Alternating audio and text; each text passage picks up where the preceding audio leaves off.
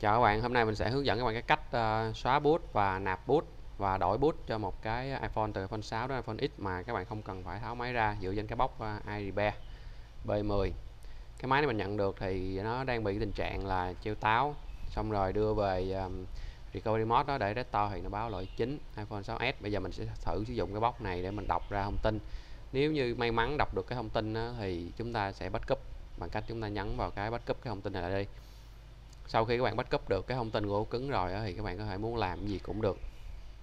Lưu lại với một cái file và các bạn nhớ mấy cái số series cuối cho đúng nha. Rồi sau đó ở cái máy này là nó đang bị lỗi rồi bây giờ mình sẽ xóa sạch cái thông tin của ổ cứng của nó. Rồi mình sẽ mình sẽ tiếp tục mình lấy ờ, cái cái bút sẵn của cái box là trên này nè. Các bạn chọn model 6s đúng cái uh, cái bút mà các bạn mong muốn, các bạn có thể đổi qua đổi lại.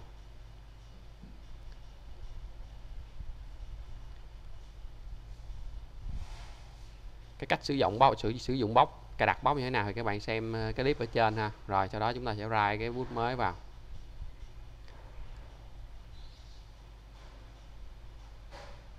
Sau khi các bạn ra cái bút mới vào thì các bạn sẽ query info để cho nó ra xem cái thông tin nó mới chưa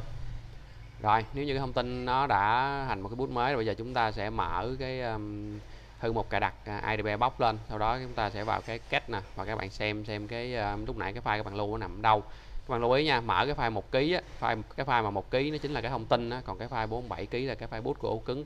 Nếu như các bạn um, cái file bút là dùng để restore các bạn restore lại um, restore data đó. Mà nếu mà cái ổ cứng đó chúng ta đang nghi ngờ nó đang bị lỗi bút rồi thì chúng ta đừng có sử dụng restore ha mà chúng ta sẽ sử dụng cái file thông tin này và các bạn sẽ copy và paste vào từng hàng từng hàng đúng thứ tự của nó. Thì cái này là nó sẽ giữ cái bút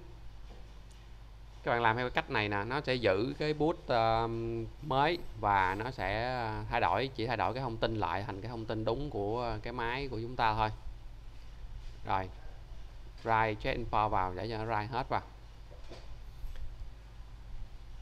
Quay đi lần nữa để xem cái thông tin đúng chưa? Nếu đúng rồi chúng ta sẽ um, tắt cái phần mềm này đi và thoát uh, máy ở chế độ màn hình hồng và cho nó về DFU hoặc recovery mode gì đó và chúng ta restore lại thôi. Nếu may mắn thì nó sẽ lên còn nếu như không may mắn thì nó nó tiếp tục lỗi thì các bạn chỉ việc thay ổ cứng và các bạn cắm cáp các bạn làm y chang những cái bước lúc nãy mình làm là nó lưu ý là khi các bạn thay ổ cứng xong các bạn phải restore cho nó lên nguồn nha là các bạn làm nó mới đưa cái bóc nó mới đưa vào cái màn hình trong được. Còn nếu như bạn thay ổ cứng mà bạn chưa to thì nó không có đưa được đâu. Rồi to xong rồi đưa vào đưa vào màn hình trong các bạn đổi lại hết cái thông số các bạn to lần nữa là xong rồi đó. Thì cái này cái cách này các bạn sẽ sử dụng để ờ, sau này các bạn sẽ làm như là fix những cái ờ, kén màn hình lấy một cái bút của cái máy đúng mã màn hình đó nạp vào cái máy mà các bạn đang thay màn hình đó hoặc là các bạn fix uh, ờ, tiếng kêu camera bằng cách là các bạn đổi qua một cái bút